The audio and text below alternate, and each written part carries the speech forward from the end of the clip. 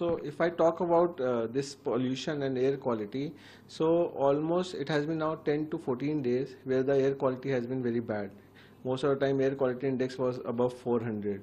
And uh, so already for a week or so, we have been seeing many cases in which problems of uh, cough, problems of breathing difficulty, more chest infections, these type of patients have been coming into us. Now, since last night, what I have seen is that in emergency some patients with exacerbations have turned up and uh, already if I see the OPD slots, my OPD slots are getting booked so I am expecting more and more patients coming to me with more and more pollution related problems now. So what kind of problems they are going through, the, respiratory illnesses uh, and what else? See, as soon as you get exposed to this type of smog, this type of air quality, the immediate thing is your eyes, anything which is exposed to that will get uh, inflamed. So eyes, you will have watering of eyes, itching in eyes, sneezing, runny nose, throat irritation, cough, and then when it reaches the lung, it causes breathing difficulty, chest congestion, and more and more mucus formation, and later on this mucus turns into an infection and then you land up with pneumonia and other problems.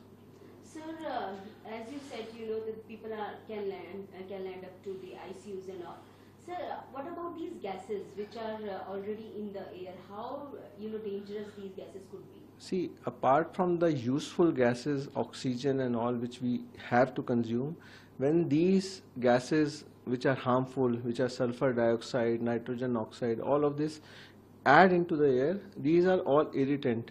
Those who have asthma, their asthma can get worsened. Further, these changes, uh, these gases on long-term exposure increases risk of changes in the lung. You land up with diseases like COPD. Risk of cancer, which we used to relate only to smoking previously. Now we see patients in young age who are exposed to this pollution getting cancers, multiple other problems. Even risk of infections like tuberculosis increase due to the exposure to these harmful gases.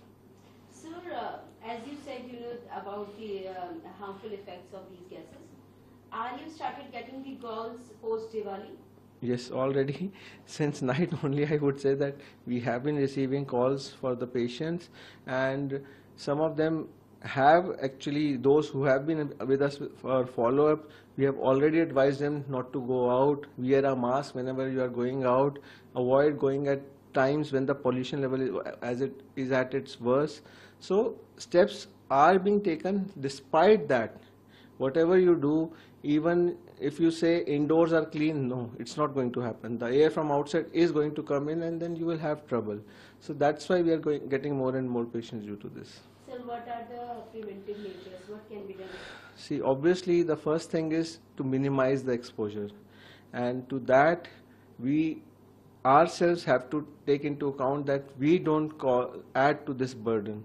And uh, though there was a cracker ban uh, from the government side in Delhi, I would say nobody was following it. So we are at ourselves at fault. We don't follow these guidelines. And then next is, once this has happened, at least wear a mask. Those who are on regular respiratory medicines should be taking them regularly without fail. Otherwise their symptoms will just go haywire and then they will land up in hospitals. And take a good antioxidant rich diet, which is rich in fruits, vegetables, because these antioxidants can to certain extent minimize the harmful effect of these gases. Sir, what about the uh, old age people and children? How See, to protect them? Children, their lungs are still in developing age. Further, old age people, their lungs are getting weaker day by day. So these are the two groups which are more vulnerable to this problem. Children, the age is which where their allergy levels are on the rise. So they are more prone to allergic reaction to this elderly people due to constant exposure for long term pollution their lungs have already started to have damage. So these will have much more uh, complications as compared to a healthy individual. But each and every age group is vulnerable to this pollution. So everyone needs to take uh, precautions. But children and elderly should take much more precautions as compared to a healthy uh, normal adult individual